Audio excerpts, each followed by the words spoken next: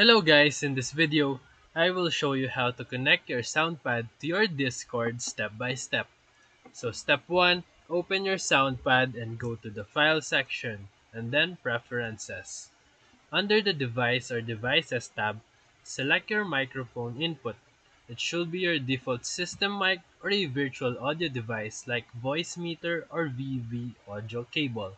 Step 2, in the SoundPad, enable the voice option so that your sound is played through your mic's input. Step 3. Open your Discord and go to your settings and then voice and video. Step 4. For the input device, select the same microphone or virtual device that you chose in your SoundPad. For output device, can remain as your usual headphones or speakers. Step 5 Test it by playing a sound in your soundpad while in a voice channel. If set correctly, others will hear the sound as if you are speaking.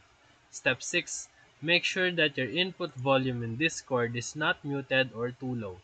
Adjust the gain if needed to balance your voice and effects.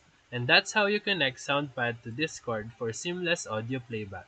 So if this video helped you, Feel free to like and subscribe for more quick tutorials, reviews, and comparison videos. Thank you for watching.